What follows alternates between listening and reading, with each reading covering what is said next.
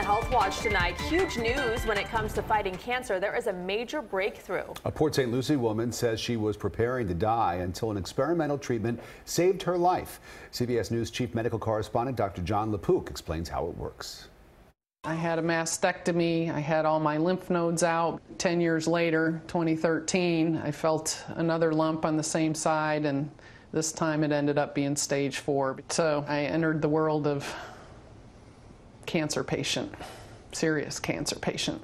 Despite hormonal and chemotherapy, by 2015, the cancer had spread to her chest and liver.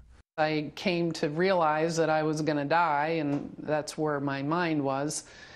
You know, I felt bad for my family, but I was grateful for the life I had had. But then she found Dr. Steven Rosenberg at the National Institutes of Health. So we're looking at lymphocytes. He's a pioneer in harnessing the immune system to fight cancer. Dr. Rosenberg and his team sequenced the DNA of one of her tumors to find out which mutations were unique to her cancer. They then found the tiny percentage of her immune cells programmed to recognize those mutations, grew them into large numbers, and injected them back into her bloodstream. You take a patient's own cells, you attack their own cancer with their own cells, and you attack a unique mutation that's present in their cancer and none others. Perkins was first diagnosed with breast cancer in 2003. Ten years later, it came back and had spread. Her cancer did not respond to any treatments, including chemotherapy and hormone therapy, until this one time treatment with more personalized immunotherapy. In six months, you went from widely metastatic cancer. It's in your liver, it's in your chest wall, it's in lymph nodes, to totally gone. Yep.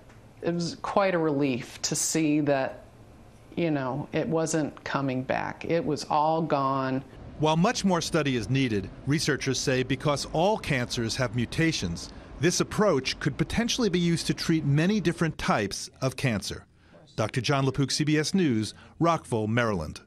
And we don't want to offer any false hope, so let's emphasize this. The researchers say that this treatment right now is in its infancy. They're not anywhere near ready to offer these kinds of results to all cancer patients out there. But since cancer touches so many people in this country and around the world, any kind of development, any kind of advancement is going to be good news. Or any case of a miracle like that or a seeming miracle, a, a cure after stage four cancer is pretty amazing. Absolutely.